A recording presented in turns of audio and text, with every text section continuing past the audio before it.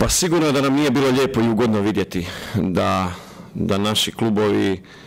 doživljavaju poraze iz, ajmo reći, takvih e, zemalja koje mi e, ipak ne vidimo e, da nam u ovom trenutku da nam da su nama ravni da su nam konkurentni. Međutim, to su bile dvije utakmice,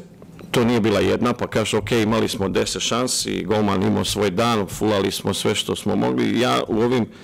utakmicama nisam to vidio i nisam stekao dojam da smo mi bili dali Hajduk, da li, da li Rijeka, da li, da Osijek dominantni protiv svojih protivnika, pa smo kao nezasluženo ispali. To je u ovom trenutku realnost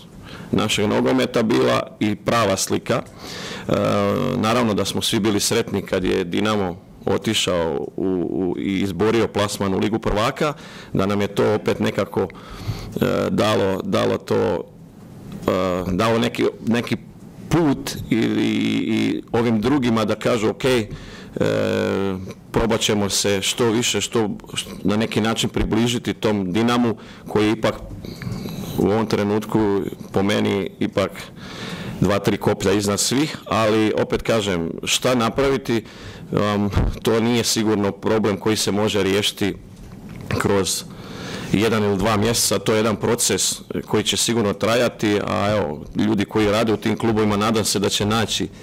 pravo rješenje i da ćemo u sljedećim godinama biti konkurentni, barem da imamo nekakve predstavnike nekih klubova u konferencijskim ligama ili u, u Ligi UEFA.